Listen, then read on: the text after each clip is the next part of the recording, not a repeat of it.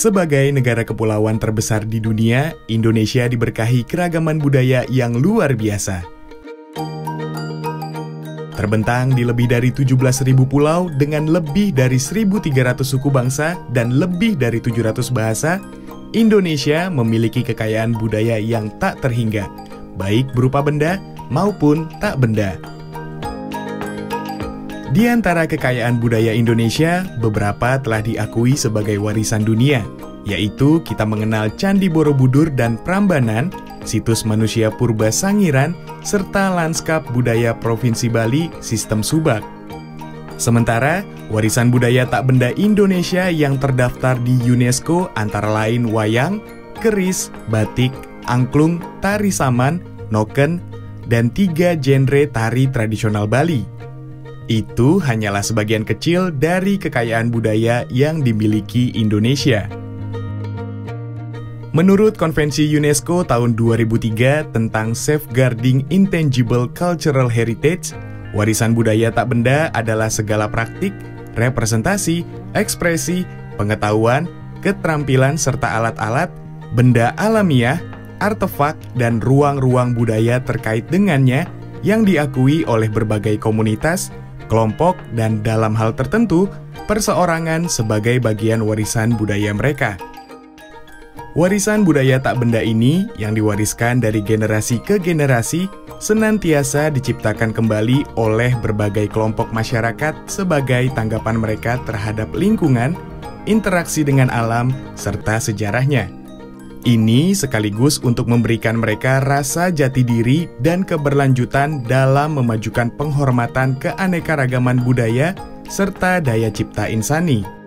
Ada lima domain dalam warisan budaya tak benda ini. Yang pertama adalah tradisi lisan dan ekspresi, termasuk bahasa sebagai wahana warisan budaya tak benda. Kedua, seni pertunjukan Ketiga, adat istiadat masyarakat, ritus, dan perayaan-perayaan. Keempat, pengetahuan dan kebiasaan perilaku mengenai alam dan semestanya. Dan kelima, kemahiran kerajinan tradisional. Dalam menginventarisasi warisan budaya tak benda, Direktorat Jenderal Kebudayaan, Kementerian Pendidikan dan Kebudayaan melakukan tiga tahapan, yakni pencatatan, penetapan, serta pengusulan.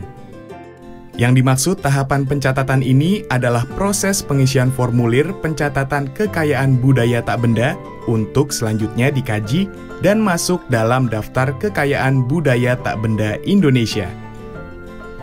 Tahapan selanjutnya adalah penetapan warisan budaya tak benda Indonesia yang pengusulannya dilakukan oleh pemerintah daerah.